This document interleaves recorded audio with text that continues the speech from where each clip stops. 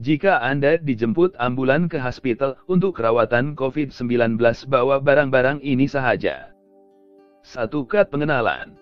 Kad bank tidak perlu. Dua Uang tunai jumlah yang sedikit.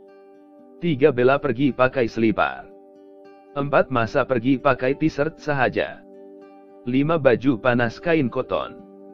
Enam Satu persalinan baju discharge nanti. Dua atau tiga set pakaian. Tidak perlu baju banyak-banyak. Nanti kena pakai pakaian pesakit hospital. Tidak akan dapat cuci atau jemur pakaian di wad.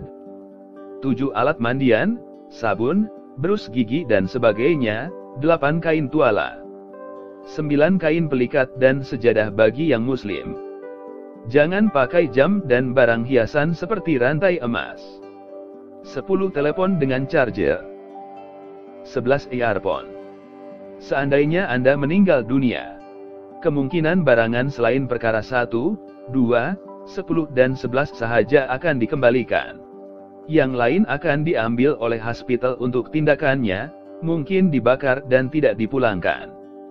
12 Bawalah bag baju yang kecil bukan bag travel. 13 bimbang kelewatan masuk keluar di hospital bawa makanan ringan seperti roti dan 2-3 botol air mineral sedia di dalam kotak untuk mudahkan dibuang. 14 bawa botol air, termos, cawan dan sudu. Kalau kerap makan, bawalah minuman tiga dalam satu dan biskut-biskut untuk kunyah-kunyah. 15 tulis atas kertas nama-nama pewaris yang lain, selain yang telah direkodkan untuk diberi kepada frontliner setelah masuk dalam ward.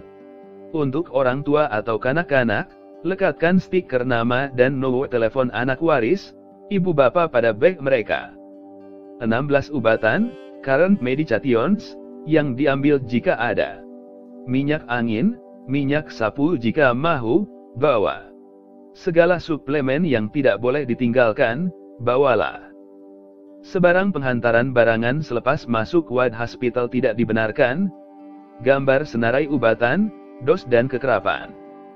17 pampers dan tisu basah bagi pesakit yang stroke tidak bermayat tua. Gigi palsu orang tua bawa juga nanti tidak dapat makan. Jangan lupa bawa cermin mata Walker tongkat jika perlu. Sila terangkan pada orang tua, tiada pelawat nanti dibenarkan, Nanti dia merajuk pula korang tidak datang melawat. Reload dan sambungkan internet secukupnya pada handphone orang tua Anda. Sebaiknya ajarlah gunakan smartphone, cara WhatsApp, video call sejak awal-awal lagi.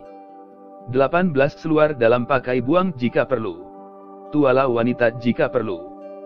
19 beberapa buku untuk dibaca jika boleh membaca untuk menghilangkan bosan.